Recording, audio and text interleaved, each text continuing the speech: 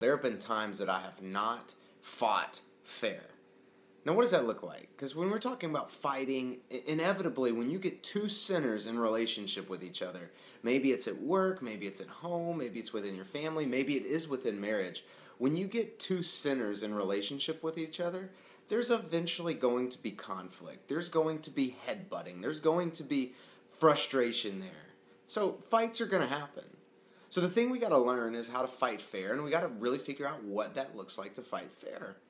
I can think of times within my marriage, to use that as an example, when something was going on and something bothered me, uh, and I didn't say anything, I didn't act on it, I didn't try to solve the problem, I didn't bring it into the light. I just left it kind of deep in my heart and it just kind of simmered there. It's just, just kind of underlying frustration. And then something else happened that bothered me, and I did the same thing. I didn't address it, I didn't talk about it. I just let it sit in my heart and it really just kind of simmered and didn't really do much. But then eventually, what'll happen is one little bitty thing will happen. So maybe, I don't know, I felt like Colleen did something that was just kind of silly, like she didn't clean up a plate or something like that. And I was like, I've got to clean up the plate.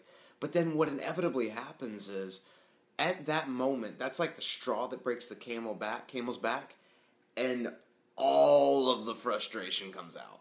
So everything that was bothering me about our relationship, all of the things that had been simmering underneath the surface, that plate that was left out after dinner, is like the catalyst that just causes all of the words to come out and all of the frustration to come out. And I'm just basically vomiting it all out uh, on everybody.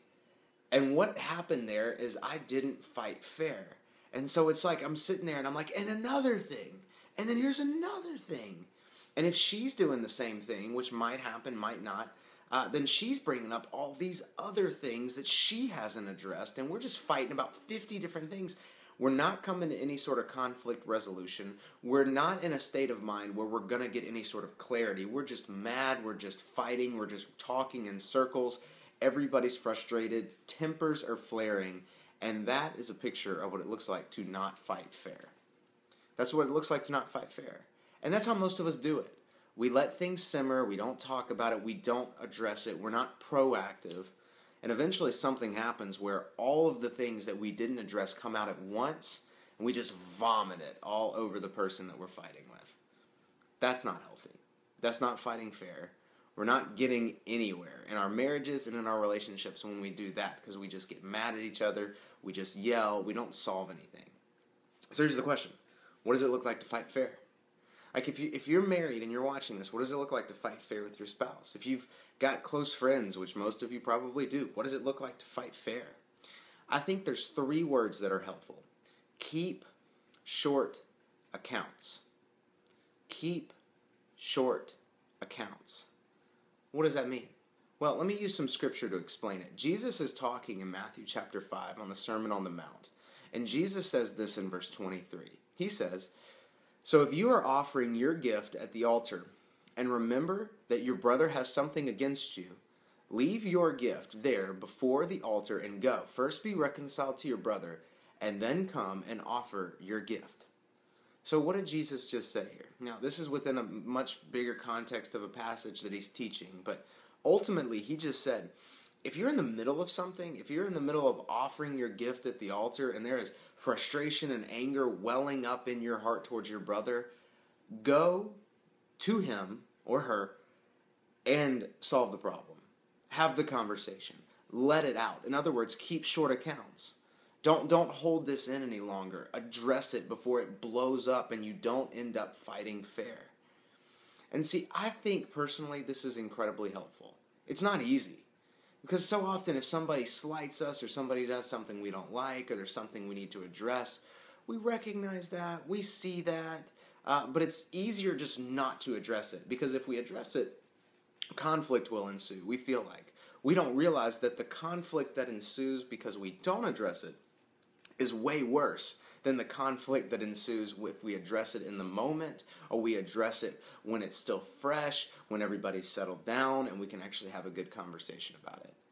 So here's what I want us to walk away from from this. First, I just want to ask you. I don't know what your relationships look like. Um, maybe within your marriage or your friendship or just within your families. Do you have anybody that you're frustrated with? Is there any kind of unsettled animosity or anger towards somebody that you have uh, that's just kind of simmering in your heart? And here's a really good way to tell if you're doing this. Are you having fake conversations with them in your head in which you always win the argument?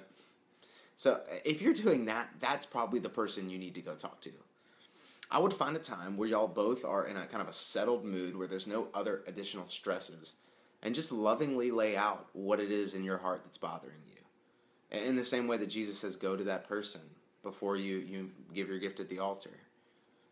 And I think by doing this, maybe it's your spouse, maybe it's your friend, but just by having these conversations, I truly believe that what will happen is that you will see conflict resolution begin to take place. You will see a lot less of the, you know, frustrated, anger, we're yelling at each other all the time. And what will eventually happen is you'll begin to solve some of the problems and the frustrations that are taking place within your marriage and within your relationships. Because ultimately, that's how Jesus approaches us. So if we look at it as Christians, um, it, that's how Jesus approaches us.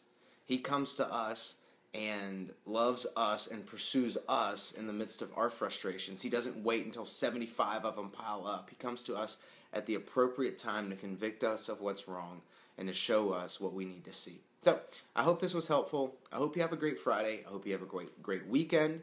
I'll see you guys soon.